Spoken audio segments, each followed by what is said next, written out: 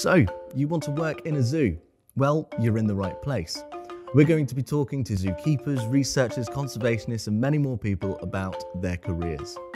We will discuss how they got into doing what they do now, and of course, we'll be asking them for their advice to those that aspire to work with animals or for animals and the natural world. And we're back. So, obviously, we took a short hiatus last month.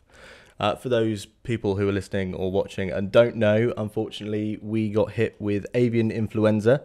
So, it's had a bit of an effect on obviously our bird collection across the zoo. Luckily, it's had quite a minimal impact, and obviously, you can find out more about it on our website. There's an FAQ page, it's all over our social media, and you can just get up to date with all of that. But obviously, in that time, we weren't able to come into the studio and use it because it was only essential staff on site. And, well, now we're back to our regularly scheduled content.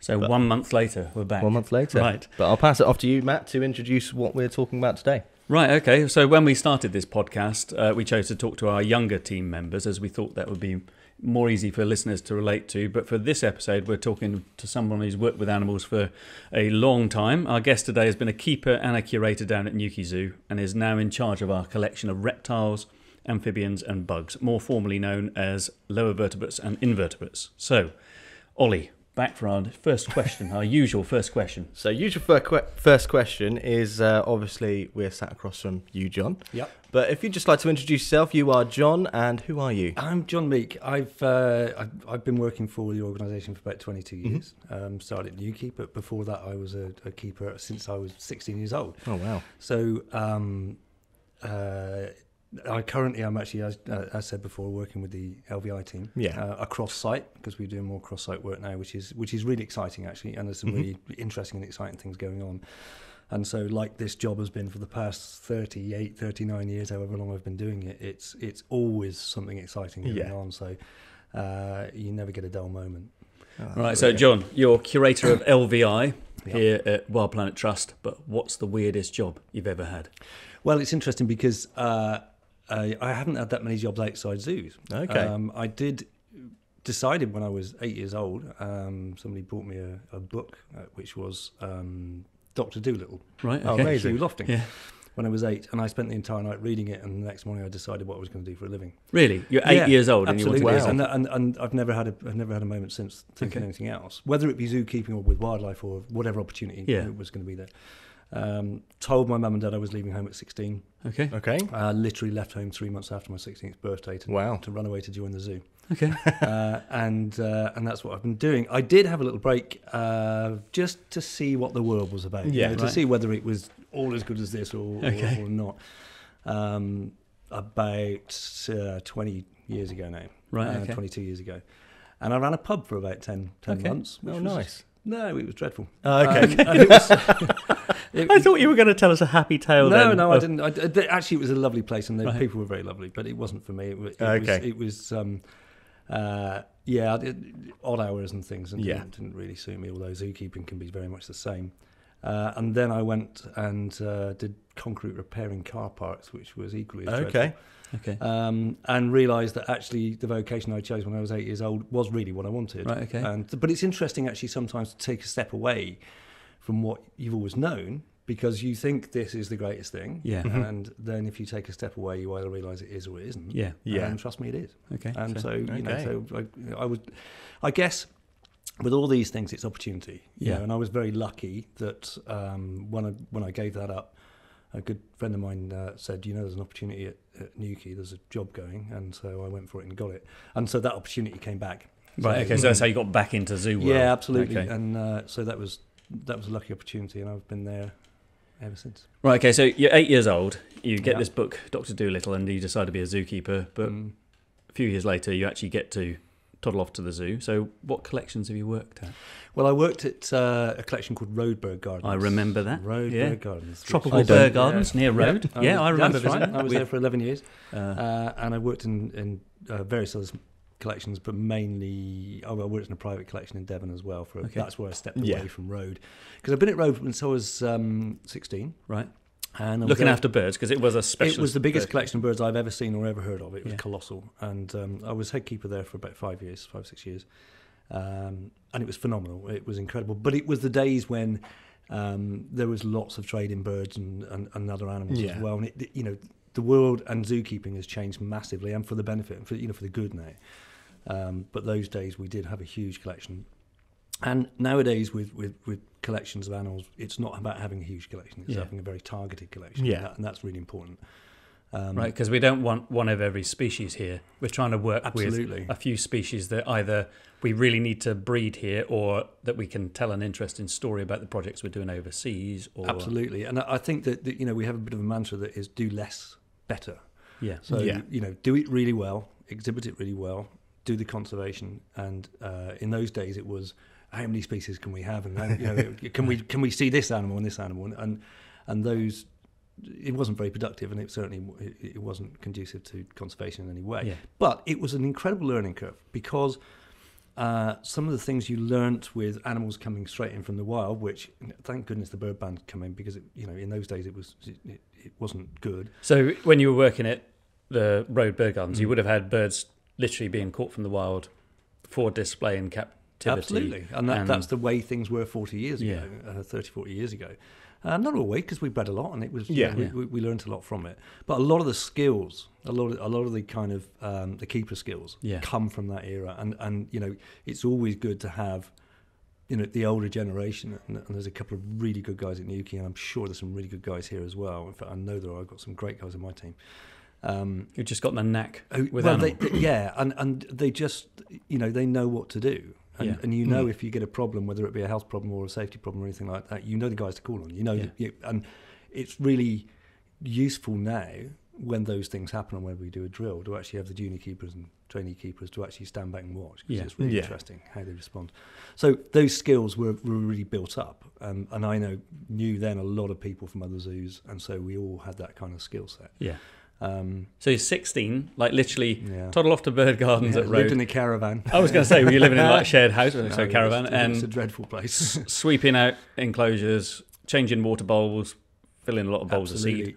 I, I do remember um, one of my jobs for quite a few years in the middle of winter was breaking ice on waters Okay. for most of the day in the middle of winter, which was uh, Glamorous world of I. I, I, do you know I say that an awful lot to, to keepers when they're walking around in the you know throwing rain and stuff. Yeah. And I Yeah. yeah. say glam, isn't it? you know, because it's just not. Um, but it's uh, yeah. So I mean, it, but but that's the same with anything. You know, if if you went to work in a factory, you were given you know the, the, the lowest job to begin. with. You Yeah. build yourself and work yourself up Yeah. if you if you've got a passion for it. Um, and actually nowadays, uh, when we're taking apprentices on or or new keepers or whatever.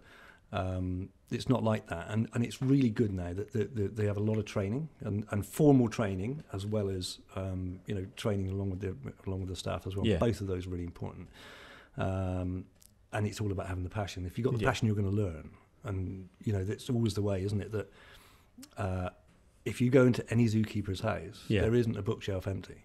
You know, they've Mm. all, and they've all got you know books on animals, and that because that's where their passion lies. Yeah. If you've got the passion, you'll learn. Um, and so even in those days, you know, you really, you know, I could tell you all the species of Amazon, well, 16 species of Amazon parrot, and you know, I knew all of them because you were really passionate. yeah, about it. okay. Uh, So, like, No, we see that in the keepers that we've interviewed. Some of the younger guys that Yeah. we've interviewed, they're they're all like Google Scholar alerts, and they're all looking on different groups and whatnot, and Latin. doing research. Yeah, Yeah, yeah. they all know the scientific names and everything. Absolutely.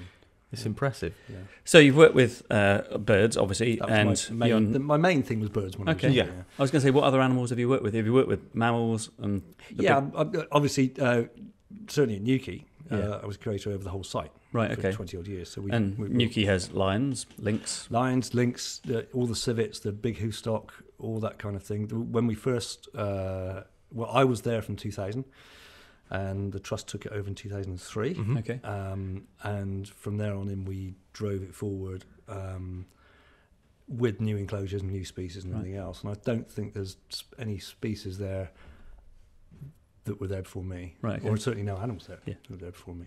Scariest animal you've worked with? Oh, um, th- one of my favourites actually. Uh, individual or, or Yeah, individual. Yeah, we had a we had a guy called Lazar who was a black wildebeest. Right. Okay. Um, Hold on. and- So you work with lions, but they're black wildebeest. Yeah, yeah, yeah. But well, yeah. But he was. The thing is, um, Lazar was he was amazing. We brought I, I brought black wildebeest in from Czech Republic Yeah. because we Yeah. went to see them there, and we just thought that actually potentially they could be new bloodlines to the wild animals, and there was issues. Anyway, so we decided to work with black wildebeest, which was brave. Um, and when we first got them, uh, the guy from the Czech Republic came over, and he we had two males, two females, and he chased them down the corridor into the into the stalls, which was Okay. okay, yeah, on your own there. Um, and I always remember him speaking to Roger, the keeper down there, and, and Roger said, "Are they dangerous?" Oh yes. He said, uh, "Will they attack you?" Oh yes, yes. And then he just walked away. And that was Right. it. So and but Lazar was um, was particularly aggressive because that's the way they are. Yeah. Okay. But if you went there, he would attack the mesh at you, and he'd attack the sides Right, and everything okay. else. And I just thought they were Very like, honest. slightly daft animals who No, just they're- bimbled around. uh, they're maniacs. I mean, oh, okay, right. Uh, um, but he was the, the, the thing. He didn't go in with him, so Yeah. it wasn't unsafe. No. Obviously, you know, we have very strict protocols for those sort of things. And he, but he was honest. Yeah. You know, he was an animal that, would- that would, if you went up to him, he'd smash, he'd smash the, the mesh. Right, And, okay. and, and you knew, So you had no doubts that he. yeah, no, he wasn't Was not friendly. He wasn't sly in any way. He was absolutely honest. But I think he was probably the most overtly sort of um, dangerous animal, I Okay. suppose. But he was wonderful. I loved him. He was just, he was just amazing. Right, so you're a curator, officially someone who cares for a collection. Mhm. Okay, what does that actually mean day to day? Like, what's your job? Okay, so uh, most of it is is I, feel that my job is making sure that the keep to facilitate the keepers' jobs. Yeah. So making sure they have the tools, now, it- it- whether that be training or whether that be um, you know the physical tools to do the job, or whether Mhm. that be enough staff, or whether that be you know enough finance to be able to do the Yeah. job, and then giving a sort of overall direction and, and, and overview of where we're going forward and how we can get things done, and, and firefighting to a degree if there's if there's problems and stuff, and making sure they're backed up. So I think actually, as a manager, regardless of curator or what else you're called, I just think it's my job to facilitate them doing Yeah. theirs. Okay, so you're helping the keepers to keep.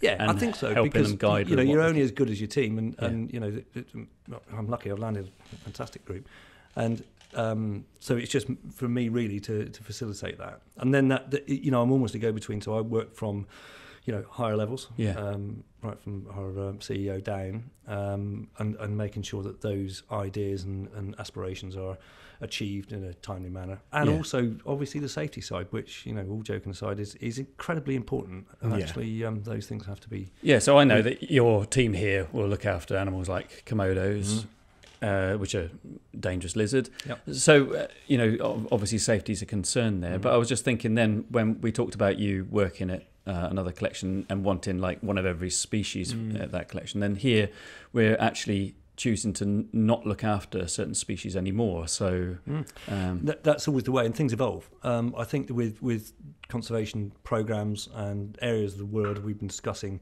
various species that, that come from the areas that we work in. So Yeah. we have Yeah. conservation projects in Vietnam and various other places. So it, we're almost targeting that, and that's all down to collection planning. Um, Mhm. Which we just we have been through, and we, we, we it's a constant evolving thing that we we discuss all Yeah. the time. Um, so actually, it's not just having an animal in a box for the No. sake of it, and in fact, that's going to get certainly on my part, and I know the other guys are working very hard on it as well. It it it's going away from that and, and actually Yeah. targeting what we do and making sure the species we keep are there for a reason, and that can be educational, that can be direct conservation, Yeah. um, and, and and various other reasons. But it- it- the collection plan has a lot of criteria on it, Yeah. and, and they have to hit certain criteria to be able to Yeah. keep that animal. Not just we want to get an animal in a box because it's pretty. That's gone. so what is the rarest species you work with? Um, oh my goodness, I've worked with thousands of species. Okay. Um, the one that sticks in my mind, and I think probably it, it, whether it's the rarest, um, it, it'll be up there with them. Yeah. Um, and the ones that I felt, somebody asked me what was what was the most significant moment, which I guess is related, are the Owston's civets at, at Newquay. Mhm. Right. Okay. Um, so that's a small, spotty, cat-like animal that lives in yeah, Vietnam. it's a mustelid. Yeah, Okay. and, uh, and we did. I'm very proud to have gone to some of the meetings in, in Vietnam about conservation of this species, Yeah. and and to meet up with some unbelievable conservationists, both native Vietnamese and, and Europeans and, and Americans and stuff, really targeting this particular species. um, and what Why? we can do 'Cause- just because it's ignored, or what? It's just been missed. No, no. Uh, I think it was. Uh, they, you know, the numbers have gone down, Yeah. and they're, they're becoming rarer. They're not a targeted species. It's a species that they're caught in snares and, and Yeah. traps and stuff. You know, uh, almost as bycatch, but they do eat them if they, if they get Yeah. them. Yeah. Um, it hasn't got any medicinal qualities like a lot of the Yeah. variations have. Um, but we bred them reasonably well, uh, early part of, and we brought the first ones ever out of Vietnam into collections in Europe, and, and the idea was to have an, you know, a population outside Vietnam. Yeah. Um, and at one point, we bred several, and we sent two back to Vietnam. Right. Okay. Amazing. They went back to the, the, the conservation centre there, but just to have those pictures back of the boxes arriving in Vietnam Yeah. with two of my civets, Okay. uh, you know, back in Yeah. country of origin, and you just kind of think, if I could do that with every species, that we, I'd, Yeah, I'd, I'd, I'd happily do. I, I think Gerald Durrell says the idea of this is to is to do us out of a job. Yeah. You know, we, Yeah. we, we don't want, you know, we, we would rather not have to do this. Yeah, I thought Um, you were going to say like I don't know, Socorro dove or Annam leaf turtle. You know, one of the we've got several species here that are you know really. Oh yes, no, but, absolutely. yeah. There, there, are, as you said. I mean, Yeah. how, how long a list do you want? There's an awful lot, lot of you know a lot of species that we can work with. But I think the reason I picked up on that one purely was that that was the one we actually we actually did send Yeah. something back, and and and I I just think that that was quite a significant moment. I mean. We've worked with Javan Green Magpie Mhm. as Yeah. well down there, and uh, you know a lot of the species we keep. So yeah, I mean, I think the the idea of, to say what's the rarest is is often difficult anyway. Yeah. I mean, I, I stub up for Zara Zaguti and they're um, uh, data deficient, and I remember one of our directors saying that that could be the rarest animal we've got. We just don't know yeah, okay, Yeah. um, because it's data deficient. So right. know. Because with some species, like with the Owston's civets, it's really hard to count. Yeah, absolutely. yeah. I mean, We we don't know what the population is, um, and so therefore, yeah, to, to answer which is the rarest, is, yeah, difficult really. Yeah, yeah. And just to before we go into another question, just so people know as well, that's Save Vietnam's Wildlife, isn't Yes, it. No, it? Um, And if people are wondering how to look into that or how to support them at all or anything like that, you can do so through us. It's on our website, and you can also search their website, and they've got a newsletter, really informative. It shows you all the different things that they're doing.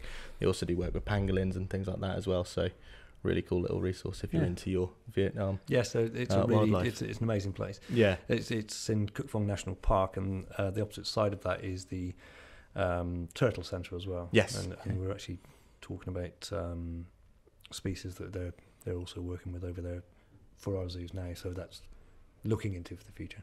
Right. Well, if you can't answer the question of what's the rarest animal you work with, then no, I can't. No, can I you tell us? Do you have a qualification in animal keeping? No, um, I've.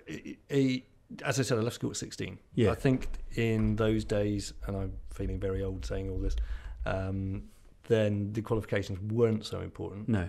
Um, certainly, as I've gone through, I've qualified, but not in, in animal care as such, Right, okay. because actually my uh, experience in animals was was such that my skill set was actually more lacking in staff, Yeah. Okay. uh, you know, uh, management techniques and things like Okay. that. And So you're going to tell me that you're qualified in that. HR, but you're not qualified to look after an animal. Yeah, yeah. Well, Okay. it's uh, yeah, animals are easy. Fair So- enough. so, if you were like talking to somebody who's at school at the minute, or maybe looking at a career change, Mm. like what qualifications do you see at the minute, or what training do you see at the minute that would be that you'd be thinking, oh yeah, that's what I would be interested in? Well, I think there's two two ways of going. It seems to be at the moment. There's the academic side of things, Yeah. and, and you know, going to university, getting a degree Yeah. in in one of the biological sciences, and, and that depends on what course you you can get. Actually, um, there isn't, to my knowledge, a, really positive zoo based Yeah, degree, if that makes sense. yeah, Um, so any of the sciences is, is good, but also there's the uh, apprentice scheme. That, so if you're not as academic or you're not interested in the acad- academia as much, then then maybe that's the way to go. And that seems to be really good now, and that gives you a qualification, yeah, um, as well as a, a practical experience on on the ground. And we, we've taken a, a few guys on, and that's, that seems to be coming back in now. The government brought that in a year or two ago. And um, that that works very well, I think, because people can make a start on that, um, and come in and do a two-year it does. It does allow, right? So when we chatted to the keepers for a, Mm. a podcast episode earlier in the series, then Uh, some of the some of them, had, Rihanna had, had studied at university Mm. and had, had studied conservation and then gone into keeping, whereas others had gone into keeping and then Absolutely. gradually got qualified. So, like you think it either route Well, I may think- be appropriate. Yes, I think so, and it all depends on you, on, on your own thought processes, and, Yeah. and maybe you're not as am- academic as some, and therefore it wouldn't suit you to do that.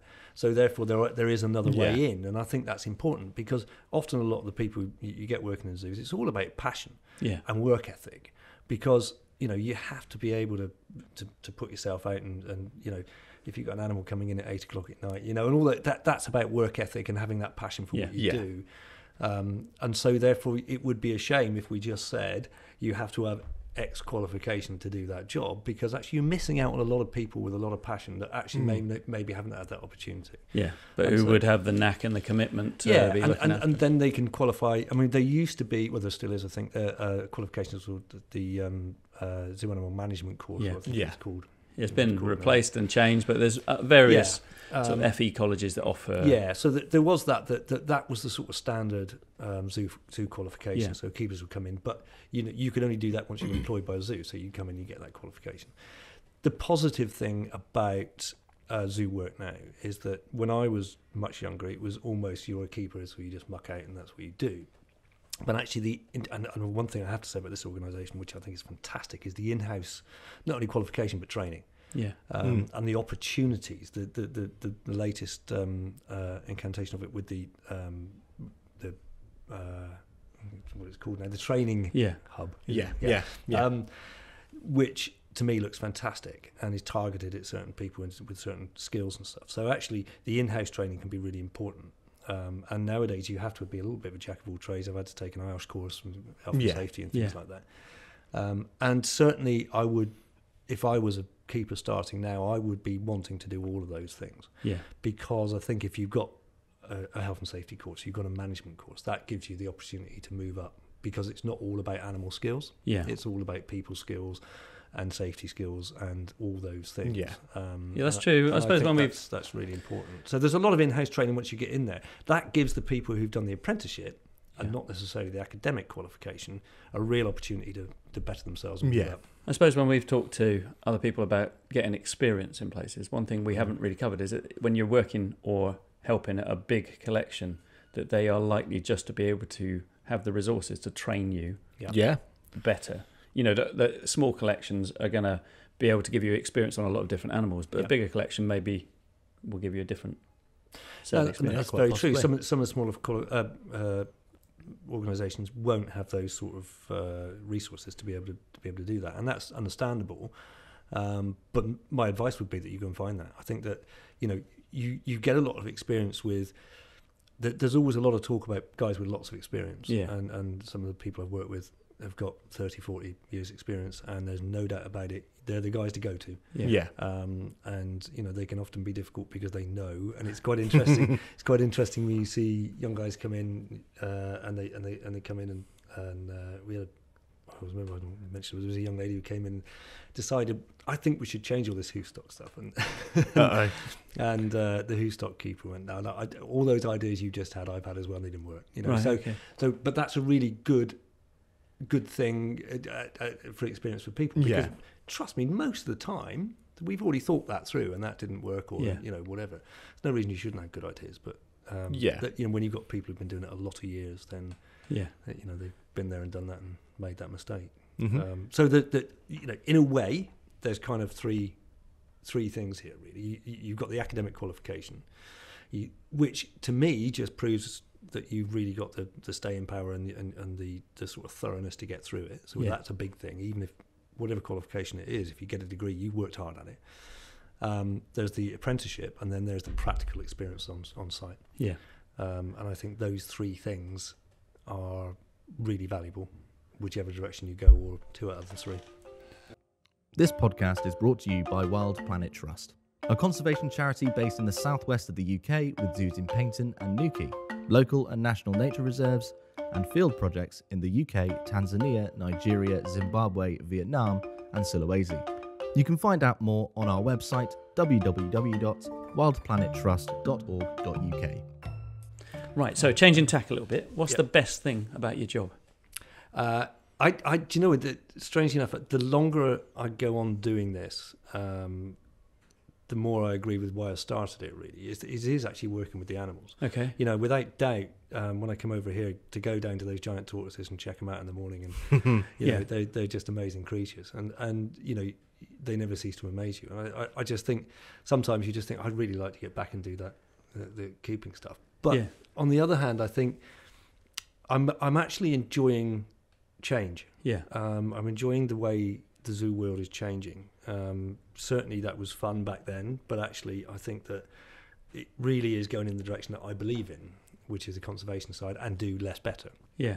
Um, and since I changed jobs to do the LVI job from from Newquay, it's been a real challenge, and it's been really nice because I just think you can do the same job all your life, and it can get you know Yeah. Yeah. samey, and you carry on, and, and and you end up not affecting the change that you would like to do. But now I've been I've been very lucky in being given an opportunity where I can affect a bit more change, and we can we can move forward and do things, you know, better. Yeah. Um, Actually, and- work with the species we want to, and uh, yeah, and actually the team as well. And I think that's the thing. It, it, it to work with the species, you have to put the team together, and that that's what I'm trying to do is actually put a you know a- Yeah. put a team together. The team have been fantastic, but add to that. Um, and and see if we can get a really good team cross sites, you Yeah. know, there's Yeah. both sites, and and see if we can get them working together, and then that will drive what we really want to do. Because if you've got a team of people, I can't do it all on my own by No. any means, and and you get the right team of people around you, we can really affect change um, and we can rebuild some of these enclosures and we can redo what we want and we can change the collection plan and, and move it forward. So it's it. I think it's really exciting times for the trust, and and I appreciate that we've had the bird flu and various things in Mhm. the past. Everybody has the challenges, but we just have to move forward. And I Yeah. think I think I think the will and the and the drive is here to do so, which is quite exciting. So actually, Yeah. I think if you ask me the best thing about the job, it's the future. Really, it's, Okay. it's where we're going and how we're going to get there. Right. So, what's the worst bit about the job? Then what job, Yeah, what tasks antithesis. on a day are you most happy to palm off on somebody, else, somebody else. in your team? Well, I, I, I could say a few. I could say a few things, but the, yeah, okay, um, yeah. It, so there is a lot of paperwork that is um, Okay, paperwork. not, right. not, okay. not the most fun, um, but we have to do it. You know, Yeah. I mean, I'm, I'm, you know, I'm really sort of pleased that if you go into any meeting now, and I was in a keeper meeting the other day, first thing on the agenda, health and safety. What's, Yeah. what's happened, and that's really good. And I think that's really important that we've come back to that. It's dull, you know, yeah, but Yeah. it's really important. it is, but it doesn't But- smell. Wh- wh- When we asked No, the keepers what no. job are you true. most happy to leave to other people on your team, one of them said clearing out the drains because that was the not least the, favourite not the job. best fun. ever. Okay. Yeah, yeah, I agree. I think that the, the worst job I've ever had is we. This was many years ago. We had a freezer go down. And Oh. it was full of Oh, meat okay. and everything else, Oh, Okay. dear. and it just stopped. And we had to get it cleared out. And we it was a weekend or something, and we had to get um, a company in to clear it out. Yeah. because it was just unpleasant. Um, and so we just shut the door and said, hopefully it'll stay cold. Little did we know that the motor in there had started to blow warm air. Oh no. So when we opened the freezer, it was the most disgusting thing I've ever seen in my life Okay. because it was several days later. So there are some jobs that you just think, Yeah. ah, no, you, you. I'm You know- glad I palmed that one off on Well, but somebody the thing is, you, you have to do the advanced buck passing course. Really, that's one of the courses. Isn't it? Just see, if you can get away with it. But on the other hand, sometimes you've got to go. Do you know what, guys? I'll muck in with you. yeah, yeah, In your mind, you're going, no, I don't want to do this. very true. but even then, it, the practical stuff is, is, is you know, that's fine. Um, but you know, some of the paperwork is dull, yeah, yeah, but necessary. Necessary. Yeah, if you want to move an animal internationally that's endangered, A you know, lot of then paperwork. there's going to be a lot of paperwork. On There that. is a lot of paperwork. There's a lot of paperwork for, for moving animals, and I, I think what a lot of people don't understand is the amount of animal moves yeah. that are going on at any one time, and so it seems to have slowed up considerably because Yeah, of Brexit. Brexit, Yeah. yeah. Um, and also, you know, with the bird flu recently, that's obviously made it difficult.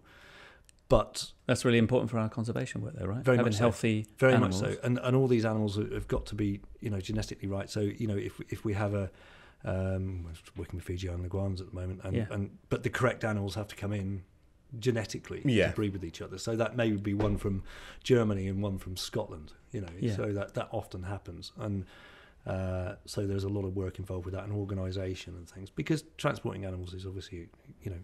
It, it's it's an art and it's a science. So you have to get it right Oh, definitely. because the, the, the animals and the paper, not only the paperwork, but actually the welfare of the animals in transit. I, I take your point about the um, animals being often what you go back to when, in terms of giving yourself a uh, sort of you know, benefit of the job. Mm. Like for me, yesterday I was working at my desk and I was fed up. I've been dealing with something with Stuff you Training or paperwork. Yeah, yeah. And I thought, right, okay, I'm just going to go and see an animal. So I stepped out of the office, and that's a rare job where you get to just Hmm. do that. But can you think, like, people don't go in, but we're a charity, and you don't go into charity work to make big money. So Yeah. there's certain sacrifices. But what are the other sacrifices that go with? With with the job, the career that you've had, like so, you've been a keeper and a curator, but what, like some people say, yeah, I mean, you hours? don't, you, you, wouldn't do it for money. Um, you'd be an idiot, really. Yeah. Because, you know, since I've, ta- I, I've taken this latest incantation of my career on, I've, I've started to take weekends off, but that's the first time in my life. Right, Okay. Um, and, you know, that was, and it, it, it was always full on because of the passions there. And he wouldn't leave anything and he wouldn't do anything. And, and sometimes there was a lot of travelling, um, which is dreadful, isn't it? But, oh no! What a travel around the world, you know. Um, but uh, yeah, so th- there is a lot of time away from home, and and obviously with animals, you never it's it, it, they don't only work nine to five. So Yeah. often you're out late. You had animals coming in late and things Yeah. like that. I've missed birthdays and and you know stuff that because you, you wouldn't leave them. Yeah, And- Christmas Day is a classic one that a lot of Oh, yes, zookeepers, absolutely. like when I was a kid, my Yeah. brother was a zookeeper, and Christmas Day he would often be working, and it's just it's it's animals still need to be fed Absolutely. every day of the week. every day of the week. And and you know it's it's uh, it's interesting that mentioned Christmas Day because that's it's actually one of the nicest days because Yeah. everybody just comes in and brings you know sort of mince pies and, Yeah. and stuff like that, and it's quite nice. And everybody kind of works together. So somebody lives a little way away, they get them away quickly and this Yeah. sort of thing. But um, yeah, it, it- that's exactly it. And and you know if you've got kids and stuff, I've got three children, and uh, well, not children anymore, but um, you know, so th- those things are are often sacrificed.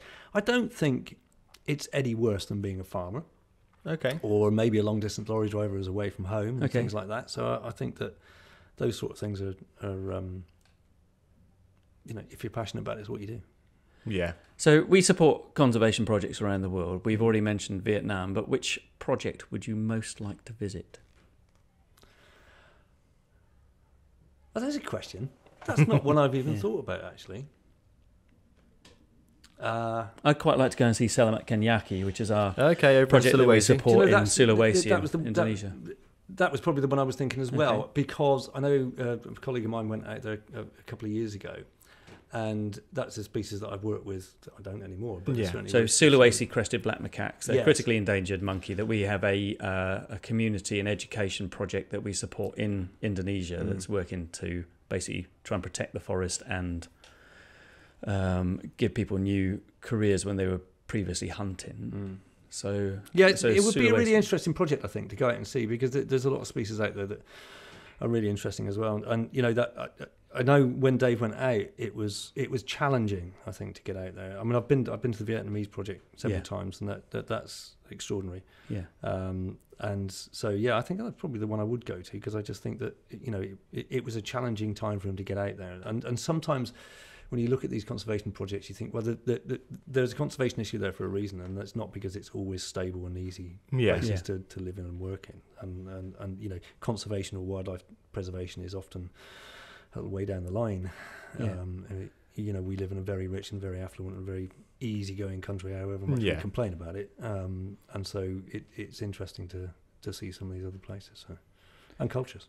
Well, you're not allowed to choose Sulawesi, uh, like yeah, because I chose it. So that's where I want to visit. But so I'll make you choose one of our other projects. So No, where else? sorry, yeah. Right. Everywhere, please. Yeah.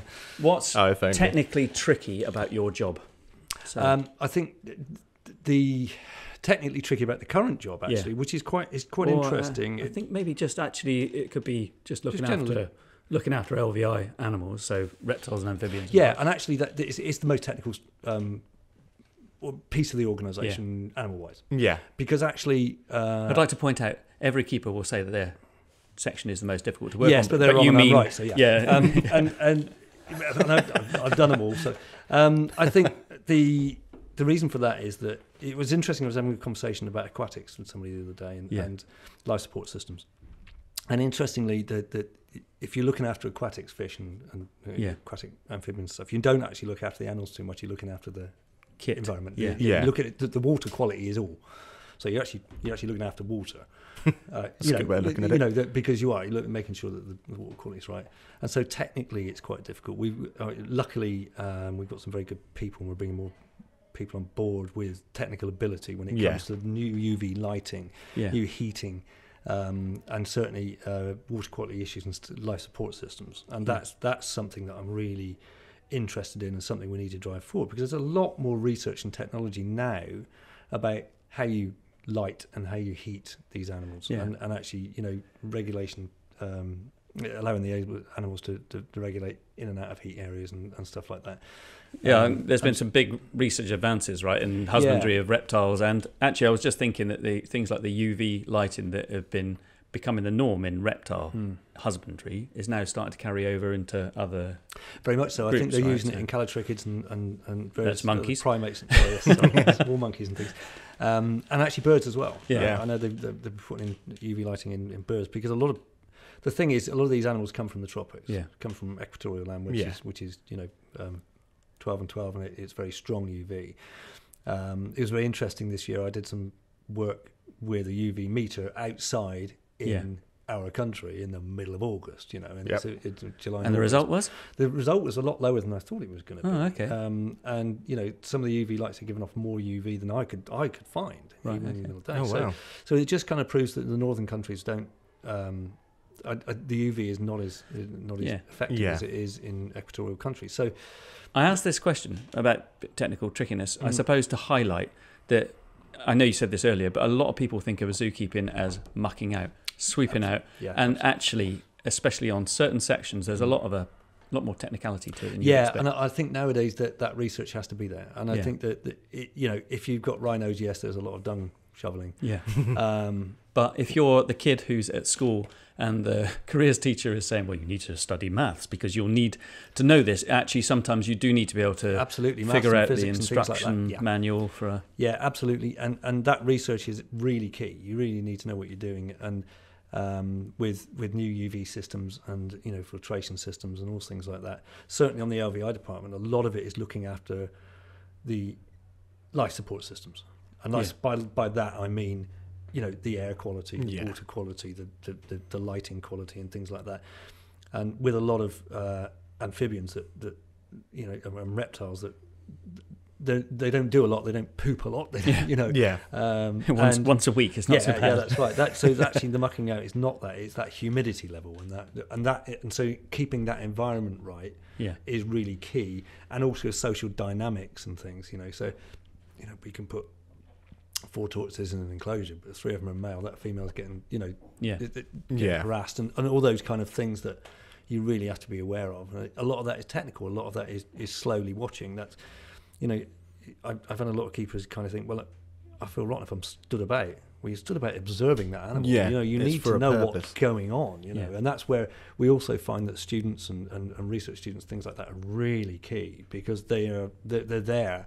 You know, if you want the giant tortoises watched and, and they're there watching them six hours a day, Yeah. by God, they can see the environment, the the, the, the the movement and how things are moving in there, and that's really really important. Yeah. So Okay, like that's quite a good example because your one of your uh, head keepers was chatting to me recently about the um, giant tortoises and about them getting jealous of each other, and I just I thought for a moment I was like, I have never thought of a giant tortoise getting jealous. So very interesting research. Well, I think the thing is, if you've got, I don't know, a gorilla or an antelope or something, it, Yeah. chases each other and does all Yeah. that, and you can see all that stuff. But with giant tortoises, and, and this is only my observation, they appear to have real subtle uh, ways. I mean, I've, I've observed them before now.